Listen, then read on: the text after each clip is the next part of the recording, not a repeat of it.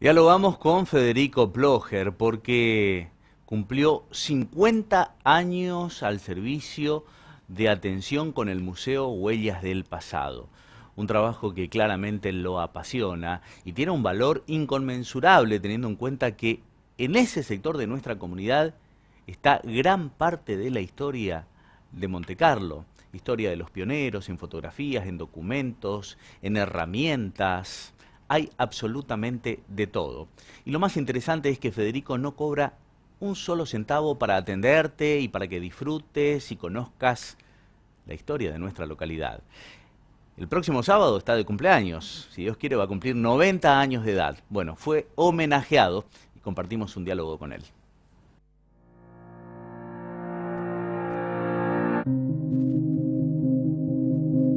El reconocido vecino, Federico Walter Ploger, cumplió un año más buscando y cuidando la historia de Monte Carlo, rescatando objetos de las primeras familias que llegaron a la localidad.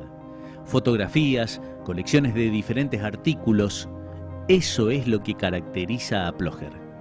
En este marco, el Ejecutivo Municipal junto al Consejo Deliberante entregaron un reconocimiento a este vecino por el gran aporte que brinda a la comunidad, dando a conocer historias diversas que también fueron plasmadas en libros.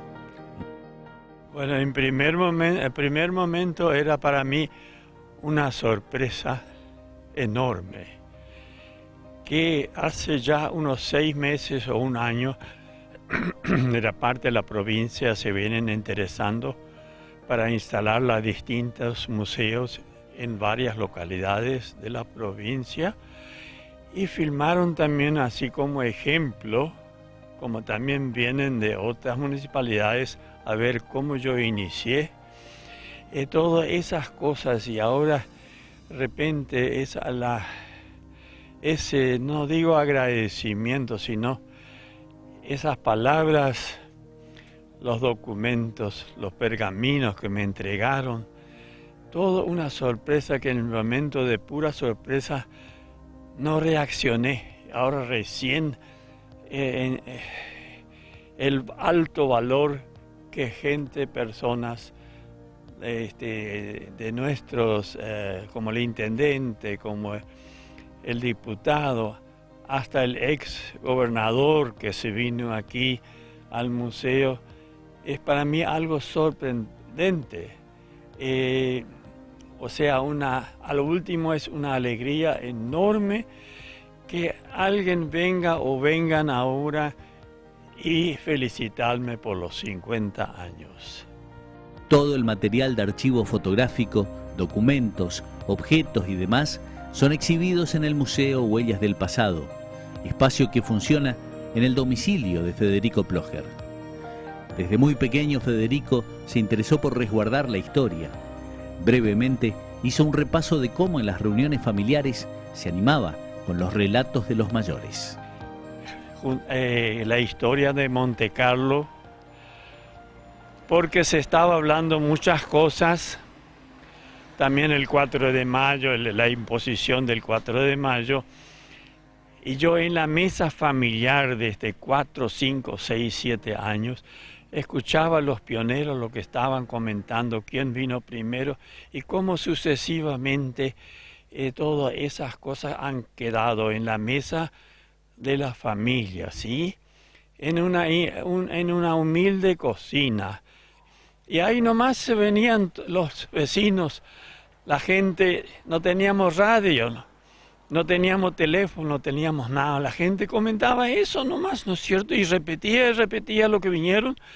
Este, en aquel entonces, primero, segundo, los problemas que había, etcétera.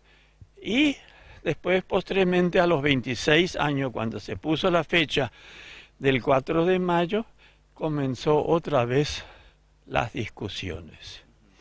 Entonces, eso todo era mi me comenzó a trabajar, vamos a decir, y quise buscar la documentación, o sea, del 71 para adelante. Y fui recorriendo día, eh, sábado de tarde y domingo, de chacra a chacra, porque en esos tiempos, en el año 71, todavía toda la gente estaba en la chacra, tenía sus gallinas, etcétera. No vamos a hablar mucho por ahí, pero me daban los datos, que algunos a veces no sabían bien exacto y a lo mejor al día rectificaron. Y los publiqué en los libros, que en el primer libro, Huellas del Pasado, esa historia, que después también se sacó uno del canto, que para ir a la primera institución eh, de Monte Carlo, que hasta hoy subsiste.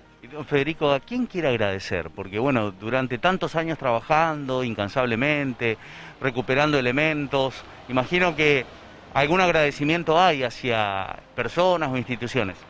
Bueno, yo no quiero nombrar ni una persona así de nombre solo, pero le voy a decir que es infinitamente mi agradecimiento a la gente.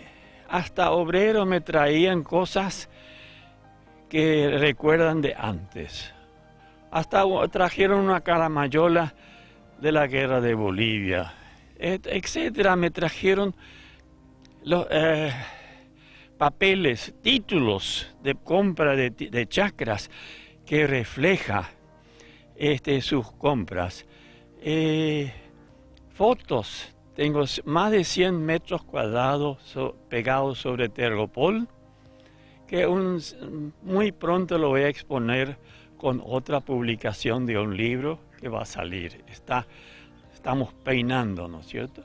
Y pienso que con eso más o menos aclaro para discutir la gente, y ver sí o no todo, eso es lo que se, se escribe.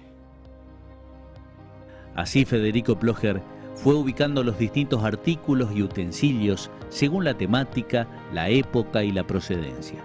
Además se tomó el trabajo de dedicarle un sector del museo a las distintas naciones de donde provienen los pioneros de Monte Carlo. El museo se encuentra a pasos del Instituto Privado Carlos Culmey, en la zona céntrica. El próximo 22 de mayo, don Federico cumple 90 años de edad. Ya tiene tres libros en su haber referidos al museo y a la historia, y se mostró más que contento por todo lo realizado. Atiende y hace de guía de corazón, porque el ingreso y la explicación de todo lo que hay en el museo lo hace de manera gratuita, sin cobrar entrada ni pedir nada a cambio.